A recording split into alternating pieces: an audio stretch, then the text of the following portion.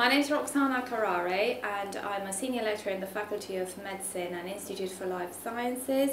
My research is in the causes that underlie dementia and I'm very pleased here to say that the uh, annual event for the Institute for Life Sciences is focusing on dementia that is complementary to the annual event of the South Southampton Neuroscience Group. Dementia, of course, is a national priority and in Southampton builds upon the uh, experience of uh, over a decade of work from the Southampton Neuroscience Group. Yes, so uh, I'm Diego Gomez Nicola from the Center for Biological Sciences. I'm an MRC research fellow uh, in the field of neuroimmunology. And I'm here to, as Roxana said, to introduce the uh, SONG conference. So the SONG stands for Southampton Neuroscience Group, and the Southampton Neuroscience Group is a multidisciplinary uh, group of uh, researchers that work in Southampton studying neuroscience from different perspectives. From basic neuroscience, using um, system models like um, uh, Drosophila or, or, worms, to much uh, bigger organisms like mouse, to humans, to psychology aspects of, of, of the function of the nervous system. And we have one conference every year. This year is about the human brain. And is, we are glad to have this conference in parallel to the conference hosted by the Institute for Life Sciences because that highlights the strength of neuroscience in Southampton. The Institute for Life Sciences, of course, uh, catalyzes interdisciplinary research and for this year's conference we have mathematicians and engineers and social scientists and occupational therapists that showcase their research alongside our external speakers um, that focus on the areas that uh, are not so strong in Southampton therefore the discussion should be really very interesting. So our external speakers are Professor John Hardy in genetics and Nick Fox in the imaging in dementia. Um, but of course, your conference has the strength of enabling the early career researchers and PhD students to present their work in a non-threatening environment.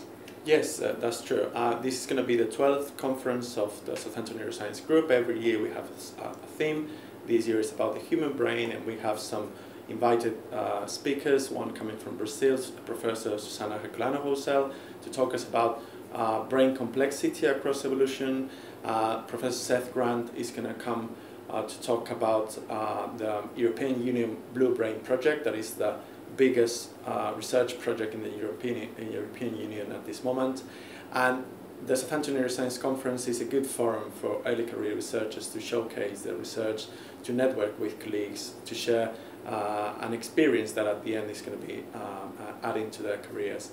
Um, it's good that it's happening um, around the Institute for Life Sciences conference that is focusing in, in, in, in a particular aspect of the nervous system, that is dementia, in which Southampton has particularly um, uh, strong expertise and has been a, an expert centre for excellence in the United Kingdom for many years in the fields of neuroimmunology or in the fields of vascular biology, for example, in which Southampton could raise the flag to say that we are uh, doing uh, top research.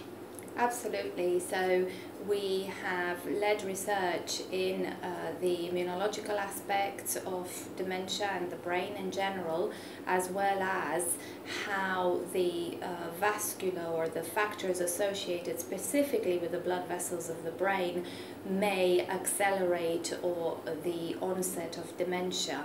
Um, and we're working on preventative strategies and on identifying maybe radiological type of biomarkers that may be able to uh, assess whether a person is at risk of dementia. But of course all this would not have been possible without the vision for interdisciplinary research in Southampton and without the strength of the interdisciplinary research in the first instance that SONG catalyzed for the wider neuroscience community of which dementia of course is a strength. Yeah, that's true. So this said, um, we hope you are interested in neuroscience and if you want to hear more, we will wait you at both conferences in next September and we love to see you there. Thank you.